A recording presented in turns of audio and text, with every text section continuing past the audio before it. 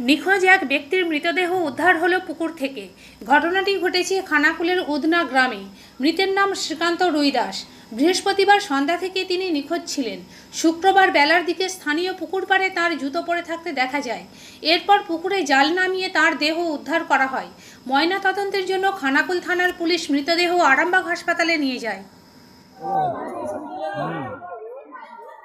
আমিও তো পা দিয়ে পা দিয়ে শুনি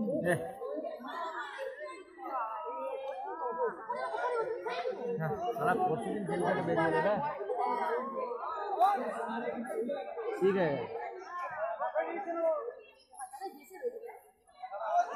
ওই ভাসছিল ভাসতে লাগছে হ্যাঁ দশটা এগারোটা বারোটার পরই ভাসতারা মুখে দিতে